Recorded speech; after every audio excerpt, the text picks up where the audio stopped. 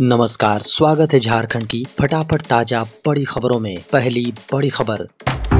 झारखंड के सरायकेला खरसावा से बड़ी खबर है। यहाँ भीषण सड़क हादसे में आठ मजदूरों की मौत। झारखंड के सरायकेला खरसावां ज़िले में गुरुवार की सुबह दर्दनाक सड़क हादसे में आठ मजदूरों की जान चली गई। वहीं 12 से अधिक लोग गंभीर रूप से घायल हो गए हैं। सड़क हादसे की जानकारी होने पर घायलों को नजदीकी हॉस्पिटल पहुँचाया गया, जबकि गंभीर घायलों को एमजीएम हॉस्पिटल रेफर किया गया। घटना ज़िले के खैरबनी गाँव में हुई। सभी घायलों का इलाज जिला प्रशासन की देख में चल रहा है। सरायकेला खरसावा में भीषण सड़क हादसे को लेकर मुख्यमंत्री हेमंत सोरेन ने जताया दुख। सरायकेला में भीषण सड़क हादसे को लेकर झारखंड के मुख्यमंत्री हेमंत सोरेन ने गहरा दुख व्यक्त किया है। घटना के बारे में उन्होंने शोक जताते हुए ट्वीट करके लिखा है कि सरायकेला खरसावा में सड़क हादसे में सात लोगों की मृत्यु की खबर अत्यंत पीड़ादायक है। जिला प्रशासन की देख देख रेख में हादसे में घायल हुए अन्य लोगों का इलाज कराया जा रहा है। परमात्मा दिवंगत आत्माओं को शांति प्रदान कर शोकाकुल परिवारजनों को दुख की घड़ी सहन करने की शक्ति दे। झारखंड के सरकारी विद्यालयों में 18 जनवरी से शुरू होगी अर्धवार्षिक परीक्षा। झारखंड के सरकारी विद्यालयों में कक्षा एक से सातवीं तक के होने वाली अर्धवार्षिक एग्ज़ाम की तिथि में बदलाव किया गया है। 16 जनवरी से होने वाली थी। झारखंड में मनाए जाने वाले टुसु पर्व को देखते हुए झारखंड शिक्षा परियोजना ने एग्ज़ाम डेट में परिवर्तन करते हुए 18 जनवरी से अर्धवार्षिक परीक्षा लेने का फैसला किया है। परीक्षा 18, 19 और 20 जनवरी को ली जाएगी। बता दें कि कक्षा एक से सातवीं तक अर्धवार्षिक परीक्षा आगामी 16 से 18 जनवरी तक विद्यालय स्तर पर आयोजित होनी थी। 16 जनवरी से झारखंड में टूसू पर्व मनाया जाएगा। झारखंड में नए सिरे से बनेगी नियोजन नीति। झारखंड में दोबारा नियोजन नीति बनाई जाएगी। मुख्य सचिव ने निर्देश दिया है कि पुरानी नियमावली के अनुसार ही नई नियोजन नीति बनाएँ और स्वीकृति के लिए सरकार को भेजें। गौरतलब है कि झारखंड की मौजूदा हेमंत सरकार द्वारा बनाई गई नियोजन नीति को झारखंड हाईकोर्ट ने 16 दिसंबर को असंवैधानिक बताते हुए रद्द कर दिया। कोर्ट ने नियोजन नीति के खिलाफ दायर की गई याचिका पर सुनवाई करते हुए कहा था कि इसमें संविधान के अनुच्छेद 14 और जी हाँ अनुच्छेद 16 का खुला उल्लंघन किया गया है। बता दें कि नियोजन नीति के राज्य की थर्ड और फोर्थ ग्रेड की नौकरियों में झारखंड से ही दसवीं और बारहवीं पास करने वाले युवाओं को मौका मिलेगा। क्षेत्रीय भाषा की सूची से हिंदी को हटाकर उर्दू को शामिल किया गया था। खबरों को माने तो झारखंड में तृतीय एवं चतुर्थ वर्गीय पदों पर नियुक्ति के लिए झारखंड से ही दसवीं और बारहवीं पास करने की बाध्यता नई नियोजन नीति में खत्म की जाएगी। झारखंड में एक सौ सैंतीस पारा शिक्षकों ने छोड़ी नौकरी। झारखंड में प्रमाण पत्र सत्यापन के क्रम में एक सौ सैंतीस सहायक अध्यापक यानी पारा शिक्षकों ने नौकरी छोड़ दी और सतासी के बारे में कोई जानकारी नहीं मिल पाई है। वहीं तेरह पारा शिक्षक ऐसे हैं जिन पर आपराधिक मामले दर्ज हैं। बता दें कि झारखंड के इकसठ हज़ार पारा शिक्षकों में से तिरपन हज़ार इक्यावन पारा शिक्षक के प्रमाण पत्र का सत्यापन हो गया है। वहीं आठ हज़ार एक सौ चौवन शिक्षकों के प्रमाण पत्र का सत्यापन नहीं हो सका है। जिलों के द्वारा जमा रिपोर्ट के अनुसार पूरे झारखंड में तीन सौ पंचानबे ऐसे पारा शिक्षक हैं जिन पर अलग अलग कारणों से कार्रवाई की गई या इसकी प्रक्रिया चल रही है। जिलों द्वारा तैयार रिपोर्ट के अनुसार 20 ऐसे शिक्षक हैं जो पिछले एक महीने से बिना अवकाश के विद्यालय नहीं आ रहे हैं। जिलों द्वारा भेजी गई रिपोर्ट के अनुसार नवासी ऐसे शिक्षक भी हैं जिनकी ई विद्या वाहिनी पोर्टल पर कोई जानकारी उपलब्ध नहीं है। उल्लेखनीय है कि झारखंड के सभी सरकारी शिक्षकों के लिए ई विद्या वाहिनी पोर्टल पर अपना पंजीयन करना अनिवार्य है। शिक्षकों की ऑनलाइन उपस्थिति पोर्टल के माध्यम से ही बनाई जाती है। झारखंड में 27 आईएफएस अफसरों की ट्रांसफ़र पोस्टिंग झारखंड सरकार ने वन विभाग में कार्यरत 27 आईएफएस अधिकारियों की ट्रांसफ़र पोस्टिंग की है। कुछ अधिकारियों को प्रमोशन भी मिला है। प्रमोशन पाने वाले अफसरों के वेतनमान में वृद्धि की गई है। वन एवं जलवायु परिवर्तन विभाग ने 12 जनवरी 2023 को इस संबंध में आदेश जारी कर दिया है। जारी अधिसूचना में कहा गया है कि जिन अधिकारियों के स्थान पर किसी पदाधिकारी का पदस्थापन हो गया है, वे मुख्य वन संरक्षण रांची के कार्यालय में योगदान देंगे। झारखंड के इन मॉडल विद्यालयों में व्यवसायिक प्रशिक्षण किया जाएगा शुरू।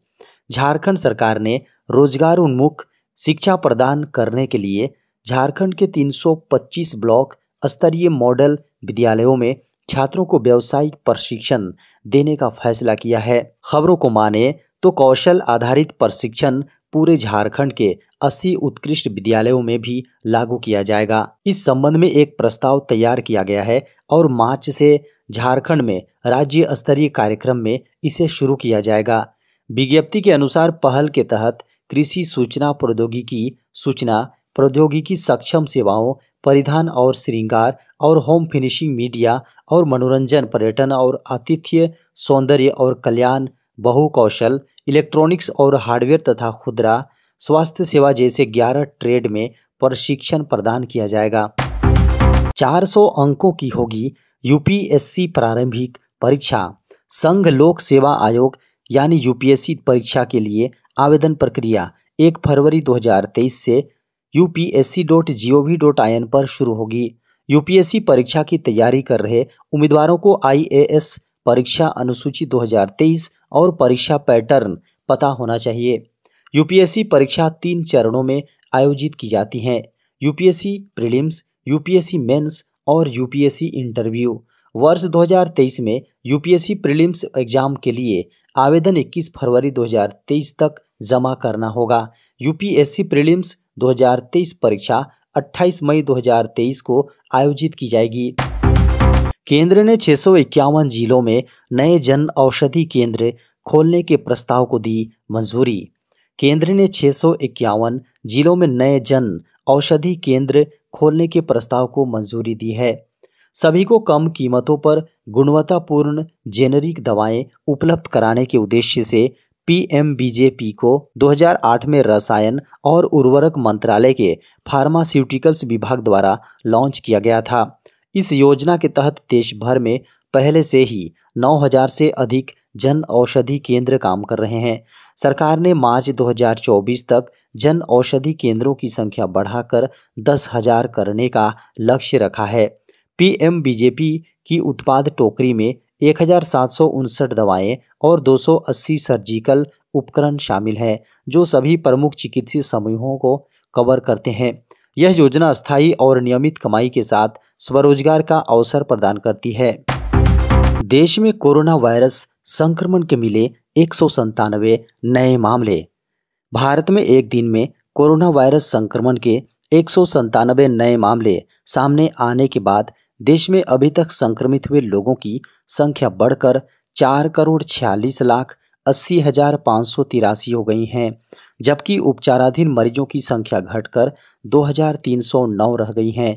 केंद्रीय स्वास्थ्य मंत्रालय की ओर से गुरुवार को सुबह आठ बजे जारी ताज़ा आंकड़ों के अनुसार कोविड नाइन्टीन से भारत में अभी तक पाँच लाख तीस हज़ार सात सौ सत्ताईस लोगों की मौत हो चुकी है। संक्रमण से मौत के आंकड़ों का पुनर्मिलान करते हुए केरल ने वैश्विक महामारी से जान गंवाने वाले मरीजों की सूची में एक नाम और जोड़ा है। संक्रमण की दैनिक दर शून्य दशमलव एक शून्य प्रतिशत है, जबकि साप्ताहिक संक्रमण दर शून्य दशमलव एक एक प्रतिशत है। ताज़ा आंकड़ों के अनुसार कोरोना वायरस संक्रमण के उपचाराधीन मरीजों की संख्या घटकर 2309 रह गई हैं जो कुल मामलों का शून्य दशमलव शून्य एक प्रतिशत है। पिछले 24 घंटे में उपचाराधीन मरीजों की संख्या में 33 मामलों की कमी रिकॉर्ड की गई। वहीं देश में मरीजों के रिकवर होने की राष्ट्रीय दर अंठानबे दशमलव आठ शून्य प्रतिशत है। केंद्रीय सुरक्षा बलों के सभी कार्मिकों को मिलेगा पुरानी पेंशन योजना का लाभ। केंद्रीय सुरक्षा बलों के सभी कार्मिकों को पुरानी पेंशन योजना का फ़ायदा मिलेगा। दिल्ली उच्च न्यायालय ने ये आदेश जारी करते हुए केंद्र सरकार को कहा है कि आठ हफ्तों के भीतर इस संबंध में ज़रूरी निर्देश जारी करें। दिल्ली उच्च न्यायालय ने इस मामले में दाखिल बयासी याचिकाओं का निपटारा करते हुए ये आदेश जारी किया है। अदालत के इस फैसले का फ़ायदा C R P F B S F C I S F और आई टी बी पी समेत सभी केंद्रीय सुरक्षा बलों के कार्मिकों को मिलेगा। कोर्ट ने अपने आदेश में कहा कि नई पेंशन योजना की अधिसूचना में साफ़ कहा गया था कि वो केंद्रीय सुरक्षा बलों के अलावा सभी के लिए 1 जनवरी 2004 से सरकारी नौकरी में भर्ती सभी लोगों पर लागू होगी। भारत सरकार इन 10 देशों में रहने वाले भारतीयों को देने जा रही यूपीआई पेमेंट सुविधा। भारत जल्दी ही यूपीआई यानी यूनिफाइड पेमेंट इंटरफेस को ग्लोबली बनाएगा। यह पहल फ़िलहाल 10 देशों के लिए की जा रही है। ऐसा होता है तो इन देशों में रहने वाले भारतीय अपने इंटरनेशनल मोबाइल नंबर का उपयोग कर यूपीआई से पेमेंट कर सकेंगे। यही नहीं, इन दस देशों के ए जी हाँ एन यानी प्रवासी भारतीय अपने भारत के फ़ोन नंबर पर डिपेंड हुए बिना भी ट्रांजेक्शन के लिए यूपीआई सर्विस का उपयोग कर सकते हैं। जिन देशों में यह पहल की जा रही है, उनमें Singapore, America, Australia, Canada, Hong Kong, Oman, Qatar, Saudi Arab, संयुक्त अरब अमीरात और यूनाइटेड किंगडम शामिल है। भारतीय राष्ट्रीय भुगतान निगम के अनुसार अंतर्राष्ट्रीय मोबाइल नंबर वाले N R E N R O जैसे अकाउंट यूपीआई का इस्तेमाल कर लेन देन कर सकेंगे। पेमेंट्स कॉरपोरेशन ने पार्टनर बैंकों को निर्देश जारी कर इसका पालन करने के लिए 30 अप्रैल तक का समय दिया है।